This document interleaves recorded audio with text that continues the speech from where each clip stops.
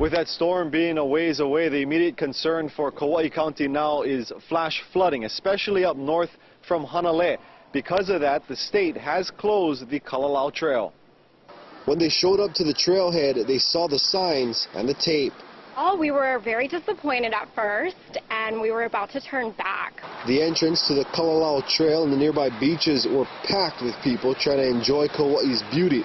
It looks really beautiful and it's so much different than our Phoenix hiking. So it's something I really want to do on this trip. I've been looking forward to it.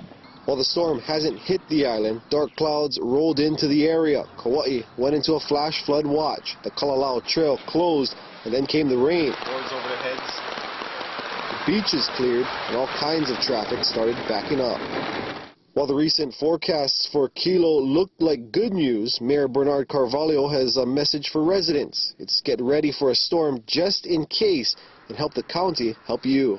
We're just encouraging people to kind of stay put for now and kind of hold on. If you have the urge to go hiking, kind of stay cool and help us and monitor with us. And when it's ready, we'll open the doors and enjoy our beautiful island. Aside from the Kalalau Trail, another place of concern is the Hanalei Bridge, where the road is prone to closures as this river is used to rising. A lot of visitors drive over this road daily.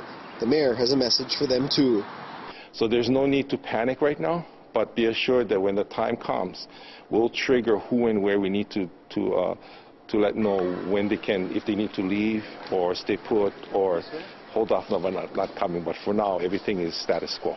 Some tourists who were running out of time during their trip disregarded the warnings and chose to chance it on the trail. Concerned about the mud and how slippery it's going to be. We don't have quite the best shoes on, but we're all in pretty good shape and we're all ready for the adventure, so we're just going to go through it because you only live life once. We know there's a tropical storm coming and hopefully you'll be here to see us come out in one piece. Now, the mayor told us Kauai County anticipates getting rain tonight into tomorrow, so the Kalalau Trail could stay closed for another day. Reporting from Kauai, I'm Brenton Awa for KITV4 News.